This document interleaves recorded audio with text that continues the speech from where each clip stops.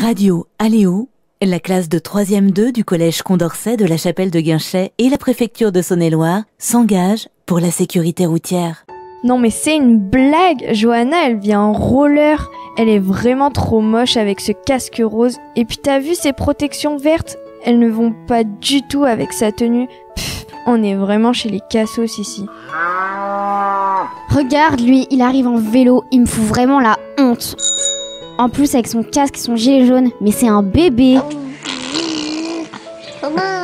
Oh mais tais-toi toi Je viens de voir ton père rouler à deux à l'heure dans une voiture sans permis. Franchement, tu me fais pitié. Moi mon père il roule en Mustang MDR sale nul.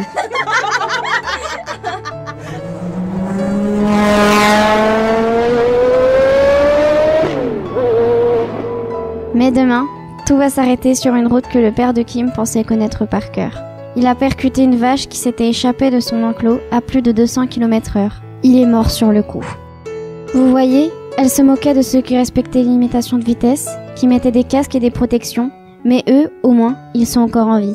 Sécurité routière, tous touchés, Tous concernés, tous responsables. Le scénario de ce spot de sensibilisation a été imaginé par les élèves de la classe de 3e 2 du collège Condorcet en atelier avec Radio Aléo.